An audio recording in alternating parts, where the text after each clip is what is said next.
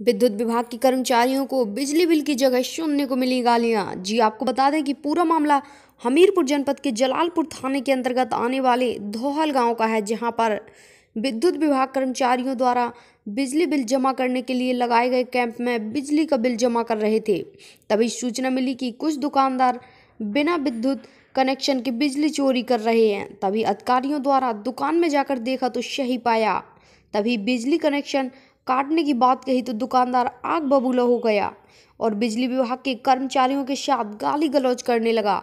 गाँव में सुचारू रूप से कर्मचारी उपभोक्ताओं का बिजली बिल कर रहे थे जमा।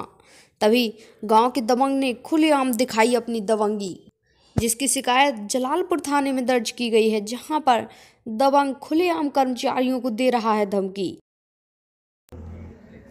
ग्राम दहल में एक शॉप दुकान है, जिसमें करीब एक डेढ़ किलो का लोड लिए हुए है, जो अवैध रूप से बिल्कुल बिना विद्युत संयोजन के लाइट का उपयोग कर रहा था। जब उससे कहा गया कि आपने कागज़ दिखाइए तो गाली गलौज करने लगा, तथा तो अवैधता के साथ भगाने लगा सबको। फिर वहाँ से हम लोग आए और मुकदमा दर्ज कराने की प्रक्रिया प्रारंभ की। हमीरपुर से यूपी ट्वेंटी फोर न्यूज़ के लिए सुनील राजपूत की रिपोर्ट।